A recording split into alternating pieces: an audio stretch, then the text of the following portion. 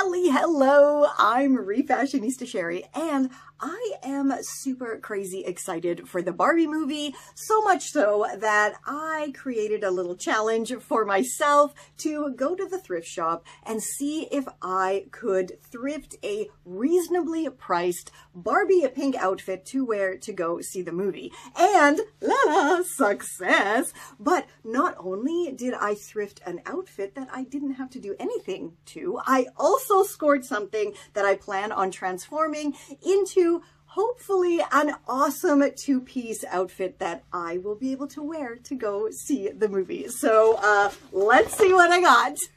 Before I start sharing what I got, I just want to share this very, very cool Hawaiian shirt upsize that I did uh, a couple of years ago, I think. I shall link the tutorial down below, but I took two kids' Hawaiian shirts that I had thrifted and I put them together to make this gorgeous one that fits me. And you see, I used like here, I have these little details and it has uh, two pockets.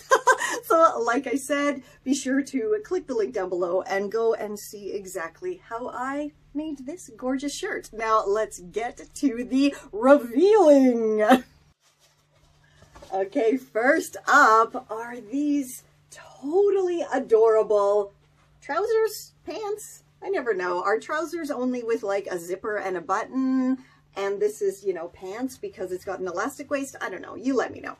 Uh, anyway, these actually were just hanging there, just waiting for me. And I almost walked past them because they were in the ladies wear section marked as a size zero. So usually I don't really look at that section because I'm not a size zero. But when I spied these a little bit, a little bit from afar, I had to definitely zoom in and um, I don't know why they're marked as a size zero. They're, they're actually like children's pants and um, they're a size three. And clearly they're from like the 60s or 70s. So whatever size three meant back then, I guess is my size because they fit me perfectly and they are quite see-through-ish transparent, but they do have these little shorts as a liner in them. So that's great. And they are absolutely adorable. I love the little pinstripe here. Next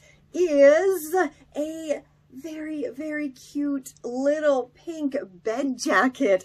I absolutely adore these vintage bed jackets. And even though they're always 100% polyester and they can be quite sweaty in the warmer months, they are so fantastic for layering and they always have beautiful details on them. They're just so sweet. This one even has a teeny tiny little pocket. Now, I don't know what you would put in there. Maybe maybe way back when you'd put your medication in there for when you were just lounging in your bed wearing your beautiful bed jacket. But again, this is another reason to never, never skip the sleepwear section because you can find amazing things there. And of course, as I was going through the sleepwear section, I found this super duper cutie patootie pink polka dot camisole. I actually think it's like a PJ top, but I'm going to wear it just as like a normal satiny tank top. And I think it is giving off incredibly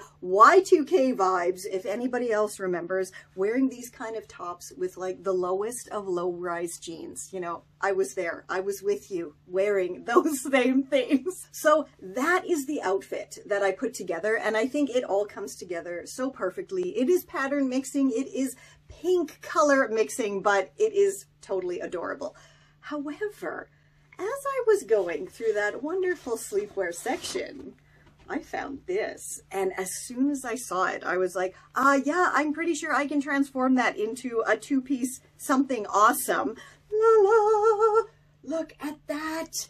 And you know what? This actually does have pockets, if I can get my hand in there. Yes, I can. La la, look at that, pockets. And on both sides, pockets with this adorable patchwork applique I just, you don't get any cuter than that. And I think I can easily transform this into a crop top blouse and fingers crossed, possibly a pair of trousers.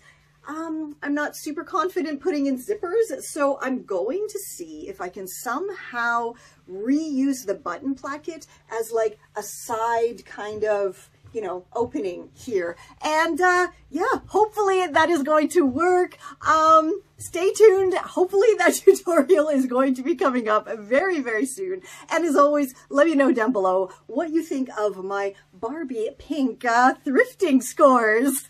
This is Confessions of a Refashionista.